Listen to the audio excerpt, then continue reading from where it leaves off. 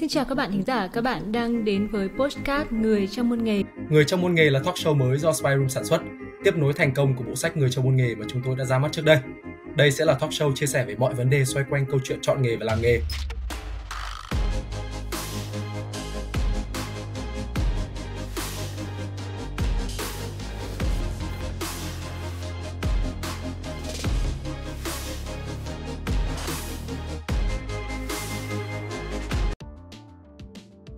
Hay à, chào cả nhà, lại là mình Isa đây.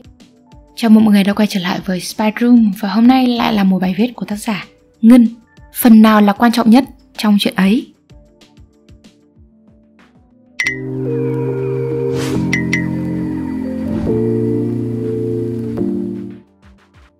Theo bạn, phần nào là quan trọng nhất trong chuyện ấy? Là màn dạo đầu đầy đê mê hay là những cú thúc đậm sâu và dài khiến cho bạn lên đỉnh?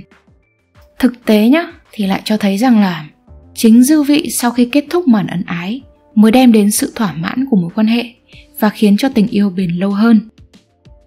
Vậy dư vị hậu ân ái là như thế nào? Dư vị hậu ân ái là những cảm giác còn động lại sau khi trải qua một trận mây mưa. Nghiên cứu cho thấy, so với cực khoái thì những gì xảy ra sau khi quan hệ mới quyết định cảm xúc của một người với đối phương. Mặc dù làm tình thì sướng thật đấy nhưng mà cảm giác ấy chỉ diễn ra trong lúc dạo đầu và cao trào mà thôi. Còn khi kết thúc rồi bạn thấy thỏa mãn hay không thì còn phải xem xem là hành động tiếp theo của cả hai như thế nào. Một người bạn của mình tâm sự hmm, hoặc là không có người bạn nào ở đây cả. Sau khi no sôi chán trẻ xong người yêu cũ nằm vật ra ngủ bỏ mặc bạn ấy nằm ê chề một mình, không một lời hỏi thăm. Một cái hôn, hay bét nhất là một cái ôm cũng không có. Cảm giác cô đơn, tủi thân khiến cho bạn ấy có suy nghĩ mình chỉ là con búp bê được thỏa mãn tình dục. Xong chuyện rồi vứt đấy, chẳng thèm đoái hoài quan tâm. Vì vậy mà thành cũ với nhau luôn. Ngược lại, những cặp đôi hay những cặp vợ chồng sau khi quan hệ thường âu yếm hỏi han nhau hay cùng ra nhà tắm vệ sinh cho nhau, có thể là thêm một hiệp nữa nếu còn sung, thì mức độ hài lòng và thỏa mãn sẽ cao hơn. Vì sao những cái ôm, âu yếm sau quan hệ lại quan trọng đến như vậy? Ở một bài viết trước, mình có nhắc đến sự gần gũi, đụng chạm về thể xác như ôm, hôn, vuốt ve sẽ tiết ra hormone oxytocin hay còn gọi là hormone tình yêu.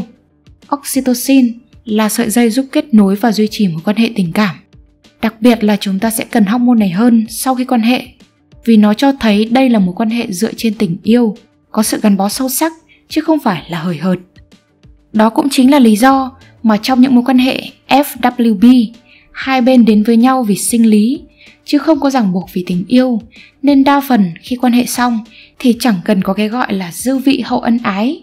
Nhưng mà có nhiều partner rất tâm lý, vẫn ôm ấp hỏi han tình cảm sau khi quan hệ khiến cho người kia thấy siêu siêu lòng, rồi chót bị con quẫy tình yêu quật vào người.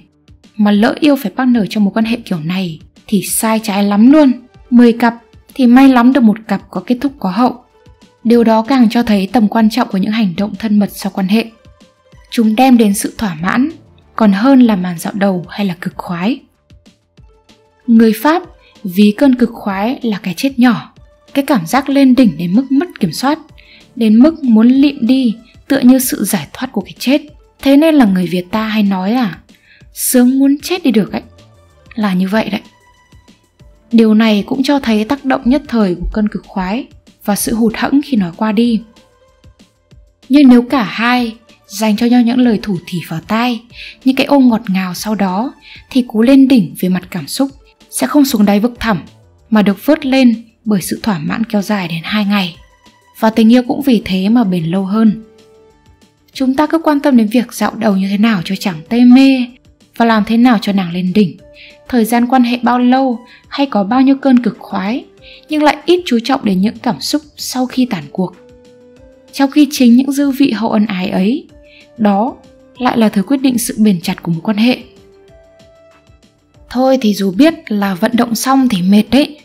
Chỉ muốn lăn ngay ra ngủ, nhưng mà ít nhất thì mỗi người cũng nên đưa nhau đi vệ sinh cho sạch rồi ôm nhau ngủ thế có phải tốt hơn không hy vọng các bạn sẽ thích video lần này Và đừng quên like, share, subscribe ủng hộ cho chúng mình.